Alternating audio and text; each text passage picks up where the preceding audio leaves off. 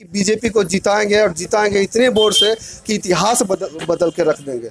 नीलम देवी के समर्थक मिले थे अभी वो भी बोल रहे थे कि इस बार इतिहास बनेगी। आप भी बोल रहे हैं कि इतिहास बनेगी। इतिहास तो बन कर रहेगी।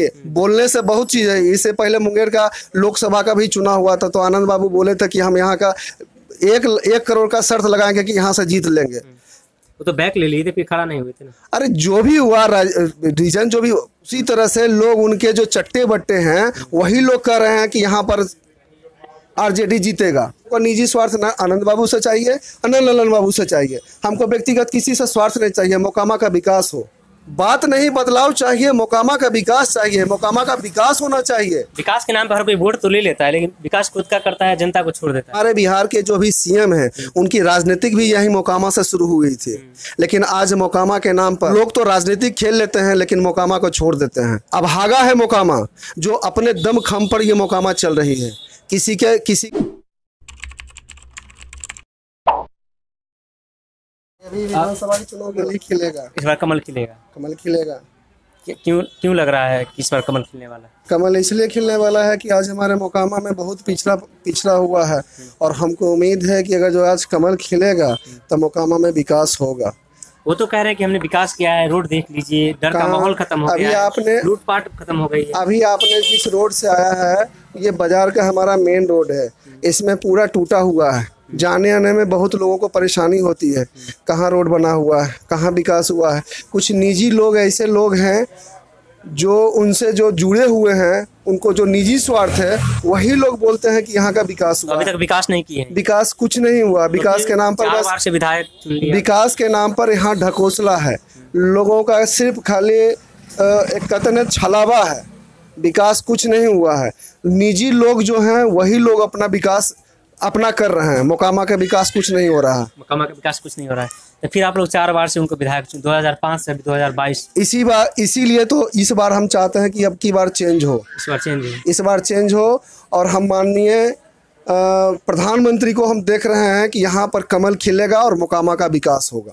आज आज इतने लॉकडाउन में लोगों को इतने परेशानी जो हुई सारे अन्न अन्न को सबको भरपाई की है मोदी जी। और अभी तक उन्हीं का दिया हुआ जो है सो अभी लोग मिल रहा है राशन भी।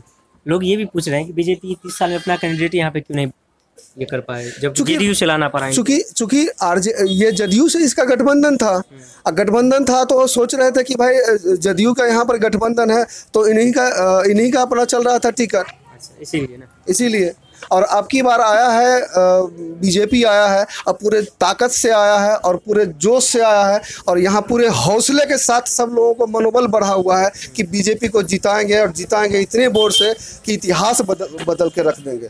नीलम देवी के समर्थक मिले थे अभी वो भी बोल रहे थे कि इस बार इतिहास बनेगी। आप भी बोल रहे हैं कि इतिहास बनेगी। इतिहास तो बन कर रहेगी बोलने से बहुत चीज़ है। इससे पहले मुंगेर का लोकसभा का भी चुनाव हुआ था तो आनंद बाबू बोले थे कि हम यहाँ का एक एक करोड़ का शर्त लगाएँगे कि यहाँ से जीत लेंगे। वो तो बैक ले लिए थे फिर खड़ा नहीं हुए थे ना। अरे जो भी हुआ रीजन जो भी लोकसभा का चुनाव हुआ था ना। लोकसभा का चुनाव हुआ था तो कहाँ वो जीत पाए? तो उसी तरह से लोग उनके जो चट्टे बट्टे हैं वही लोग कह रहे हैं कि यहाँ पर आरजेडी जीतेगा। वही लोग कह रहे हैं। वही लो, वही लोग कर रहे हैं। और जो न्यूट्रल है वो क्या हम लोग तो व्यापारी हैं व्यवसाय करने वाले हैं। लोग बोलते हैं कि जो व्यापारी लोग होते हैं बीजेपी के साथ होते हैं। बीजेपी के साथ है बीजेपी के साथ हम लोग नहीं है सारे लोग मोकामा के जनता उनके साथ है। अच्छा। मोकामा के जनता है हम लोगों को निजी स्वार्थ ना आनंद बाबू से चाहिए न ललन बाबू से चाहिए। हमको व्यक्तिगत किसी से स्वार्थ नहीं चाहिए मोकामा का विकास हो। जैसे क्या क्या बात नहीं बदलाव चाहिए मोकामा का विकास चाहिए। लोग सिर्फ़ बातों से बदलाव करते हैं। धरातल पर कोई आकर के काम नहीं कर रहे हैं। काम में क्या क्या चीज़ की ज़रूरत है अभी यहाँ पे? यहाँ का इससे पहले जल की व्यवस्था यहाँ पर इतनी बुरी स्थिति है कि इससे पहले जल नल की जो योजना बनाई गई थी वो सारा फेलियर हो गया। लाखों करोड़ों रुपया का जो यहाँ पर हुआ लोग निजी स्वार्थ उनके से जो जुड़े हुए व्यक्ति हैं उनको बेनिफिट हुआ बाद बाकी जनता को बस ढकोसला ही खाली मिला। जनता को लाभ नहीं मिला? जनता को लाभ नहीं मिला। वादा करके चले गए? सिर्फ़ वादे वही तो बताए ना कि भर भरबली है यहाँ पे।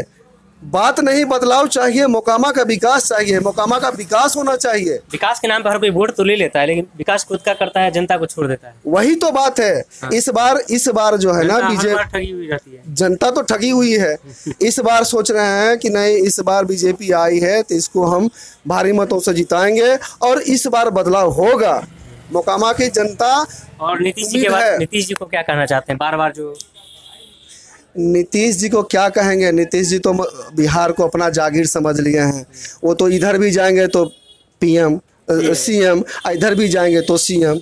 जब से नीतीश जी सीएम 2005 में पहली बार बने थे तभी से अनंत सिंह भी पहली बार विधायक बने 2005 में। तब से दोनों एक राज्य में एक मोकामा में हमारे हमारे बिहार के जो भी सीएम हैं उनकी राजनीतिक भी यही मोकामा से शुरू हुई थी। लेकिन आज मोकामा के नाम पर बस लोग तो राजनीतिक खेल लेते हैं, लेकिन मोकामा को छोड़ देते हैं। ये एक कहिए कि मतलब अभागा है मोकामा, जो अपने दम खम पर ये मोकामा चल रही है। किसी के किसी के ये, मैंने, बलबूते पर नहीं चल रही है। जो भी लोग आते हैं, बस बनावा, ढकोसला बात बोल करके चली जाती हैं। लेकिन इस बार बहुत सालों के बाद 25 साल तेईस सत्ताईस साल के बाद बीजेपी आई है। एक उम्मीद की किरण जगी है कि नहीं यहाँ पर अगर जो बीजेपी को जिताएँ तो हमको यहाँ कुछ विकास बिहार का सबसे बड़ा जो उसको क्या दोस्त बोलिए कि जातिगत इस बार कैसे साधेंगे जातिगत समीकरण? क्योंकि इस बार जेडीयू और आरजेडी एक साथ है और बीजेपी अकेले है। देखिए जाति जातिवाद वहाँ होती है जहाँ मूर्खों की जमात होती है। यहाँ पढ़े लिखे पढ़े लिखे लोग भी हैं। तो पढ़े लिखे लोग भी हैं तो वो जाति के भेदभाव में नहीं पढ़ना चाहते हैं। वो सिर्फ़ विकास मोकामा का चाहते हैं। तो वो व्यक्तिगत वो जिस जाति से जुड़े हुए हैं कोई ज़रूरी नहीं कि उसी जाति को हम वोट देंगे। यहाँ पर सारे लोग समझदार हैं और जो समझदार हैं वो अपने सूझबूझ से ही वोट देंगे। अपने सूझबूझ से ही वोट देंगे। आपका नाम क्या है? मेरा नाम रणवीर कुमार हुआ। रणवीर जी। बिहार विधानसभा चुनाव हाँ विधान चुनाव जो है आपके यहाँ मोकामा में उसके बारे में जाना इनके- क्या लग रहा है इस बार माहौल क्या है आप लोग मन में जीतेगा कोई जीतेगा? दोनों कौन?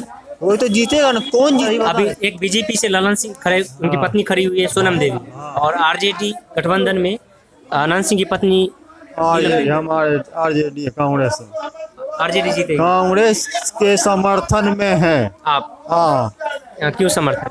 तो मेरा मर, मेरा मतलब कांग्रेस का है कांग्रेस अच्छा कांग्रेस से। लेकिन बिहार में तो कांग्रेस अच्छे से है ही नहीं। है नहीं तो आएगा। आएगा। आएगा।